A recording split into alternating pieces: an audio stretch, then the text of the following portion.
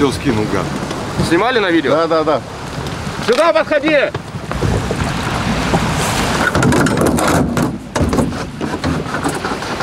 И таких недорыбаков больше сотни. Сотрудники полиции в ходе операции «Путина» изъяли около 8 тысяч метров сетей, 220 рыболовных снастей и 54 лодки. И даже когда нарушители ловят с поличным, у них включается режим актера.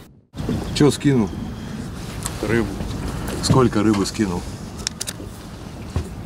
Сколько? Ну вот ведерко, карасик. Карасиков ведерко. Где сеть стоит?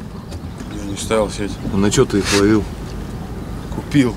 Таким сказкам, конечно же, сотрудники не верят. Кроме водных проверок, полиция наведалась и на рынке. Сотрудники полиции проверили 297 рынков, где осуществляется продажа свежевыловленной рыбы, 10 рыболовецких предприятий, 21 организацию по переработке рыбной продукции. Досмотрено более 5600 транспортных средств. Не покостите, говорю? Мы касаемся просто. Самый популярный способ ловли рыбы у браконьеров – это сети. Их рыбаки ставят в самых разных местах и пытаются всячески их скрыть от людского глаза. Правда, не всегда это получается.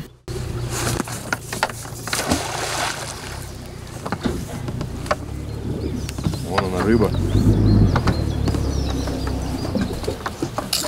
Опять кто-то ее резанул, что ли? Походу, мы этим мотором кто-то прошел. Этого всего могло и не быть, если бы наши рыбаки знали, что запрет действовал до 25 мая. До этого времени ловить рыбу разрешалось только с берега и на удочку. Правила рыбалки просты. Кто их соблюдает – рыбак, кто нарушает – браконьер. И радует, что последних становится все меньше и меньше. Валентина Аскерова, Дмитрий Дроздов. День с толком.